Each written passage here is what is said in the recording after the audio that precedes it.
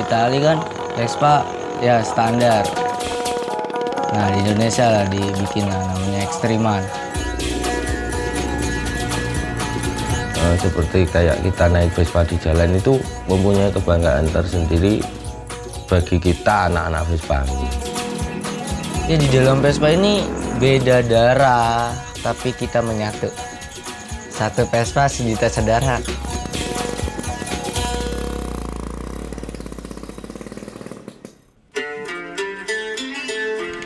In Indonesia, nearly everyone owns a scooter or a Vespa.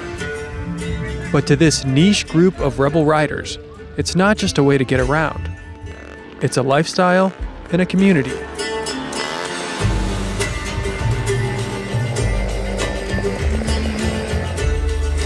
Karena emang udah hobi kali ya dari dulu sampai sekarang.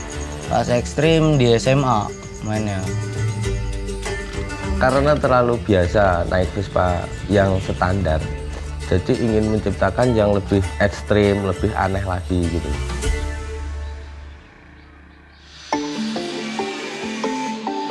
Made from strong steel instead of plastic, Vespas are the perfect choice for riders who want to modify their rides. Teknik modifikasinya ya langkah-langkahnya pertama menyambung bodinya Vespa. Itu ingin dibikin roda sampingnya berapa. Vespa kita itu bisa rodanya 10 11.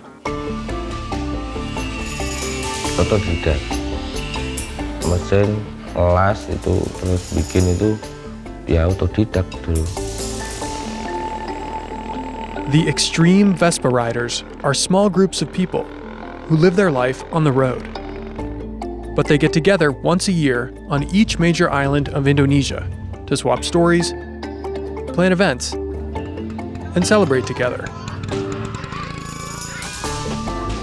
Iya, motor gue ya motor lu, motor lu ya motor gue. Kan seperti itu sebenarnya. Kasarannya ya gue mogok. Ini motor lu. Lu nggak bisa, lu terabul lu apa? Ayo kita angkut, kita bareng-bareng di sini naik motor.